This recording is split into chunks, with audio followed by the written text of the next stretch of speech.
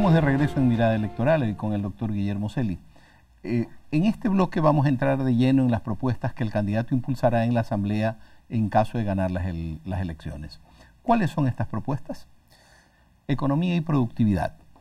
Fomentar la producción, priorizando a los pequeños medianos productores y comerciantes minoristas. Apoyo a los sectores agrícolas y ganaderos. Apoyar a la competitividad de los productores nacionales apoyar la inversión privada, generar un plan de reproducción eh, del gasto público, derechos y libertades de los ciudadanos, garantizar los derechos a la libre organización y expresión de los ciudadanos, derogar leyes y decretos que restringen la participación en libertad y la expresión de los ciudadanos y los derechos laborales públicos y privados, respetar y fomentar la aplicación de los derechos colectivos de los pueblos indígenas, montubios y afroecuatorianos, recuperar el libre acceso a la universidad de nuestros jóvenes, respetar la institucionalidad militar, policial y garantizar el derecho a la igualdad de los veteranos de guerra, establecer la democracia en el Ecuador, fortalecer la institucionalidad, fortalecer las organizaciones sociales. Dentro de todo este paquete de propuestas que tienen ustedes, ¿cuál considera usted que es la básica, elemental y fundamental? Bueno, Alberto, la generación de empleo. Y para eso nosotros, conjuntamente con Guillermo Lazo, tenemos una acción que debemos desarrollarla mancomunadamente, desde el Ejecutivo, en el caso de Guillermo, y el Legislativo, en el caso de nosotros. ¿Qué hacer? Primero, estamos listos y hemos llegado a un acuerdo para poder derogar figuras como el anticipo del impuesto a la renta, como el 5% de la salida de capitales, como también la salvaguardia. Y ahora lo que acaban de aprobar eh, los asambleístas a espaldas del pueblo ecuatoriano, como es la reforma a la ley de plusvalía, es decir, metiéndole la mano al bolsillo chiro de los ecuatorianos para pretender llenar el bolsillo roto del gobierno. Pero yo también quiero mandar un mensaje muy claro a la juventud. Hoy día la mayor cantidad de ecuatorianos que necesitan un empleo digno y bien remunerado son los jóvenes.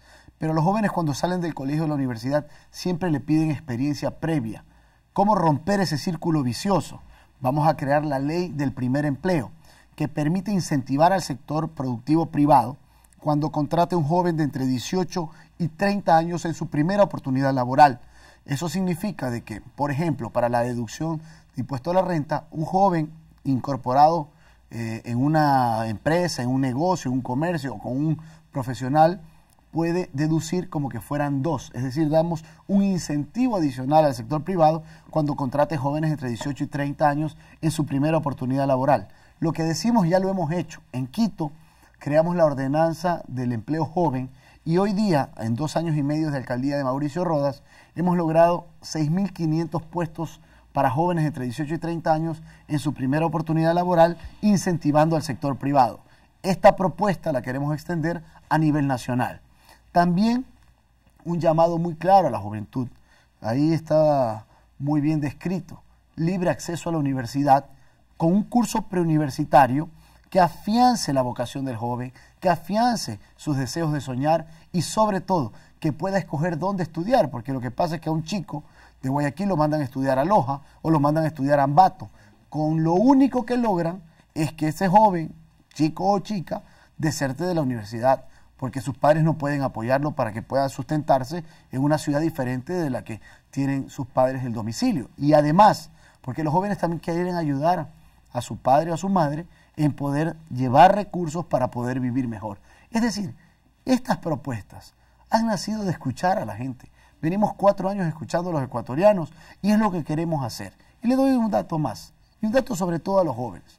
Con un solo artículo vamos a eliminar los intereses a los créditos estudiantiles. No es posible que un crédito estudiantil sea grabado con el 9% de interés. Vamos a eliminar ese interés porque el desarrollo conocitivo, el desarrollo personal de la juventud tiene que ser incentivado y no desmotivado, como lamentablemente pasa en el actual gobierno.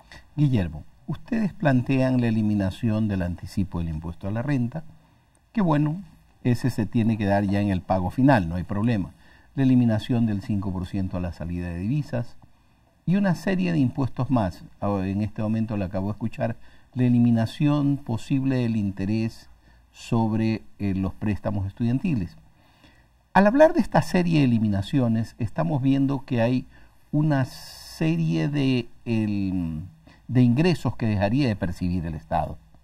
¿Cómo piensan ustedes financiar los rubros que estaban cubiertos por esos intereses, por esos impuestos que dejarán de ingresar? Bueno, de la manera más frontal. Primero, generando que estos recursos que hoy día salen de la mano de la familia ecuatoriana hacia el gobierno, y vemos que tantos escándalos de corrupción, solo en una cuenta aparecieron 22 millones de dólares de un funcionario del correísmo, estén más bien en las manos de la familia ecuatoriana generando empleo. Esa es la mejor forma de detonar un Ecuador que necesita empleo y progreso, pero también eliminando ministerios innecesarios como el de la felicidad, donde hay un señor que funge de ministro, que abraza árboles, que hace yoga, bailoterapia y meditación, mientras las madres solteras con sus pequeños bebés en brazos pasan por las diferentes calles del país vendiendo caramelo y chicle. Esa es la realidad del pueblo ecuatoriano esa es la realidad de lo que vive hoy día la familia ecuatoriana. Pero también vamos a eliminar el Ministerio de la Política, que se ha convertido en la central de campaña del gobierno pagada con la plata de todos nosotros y no se justifica.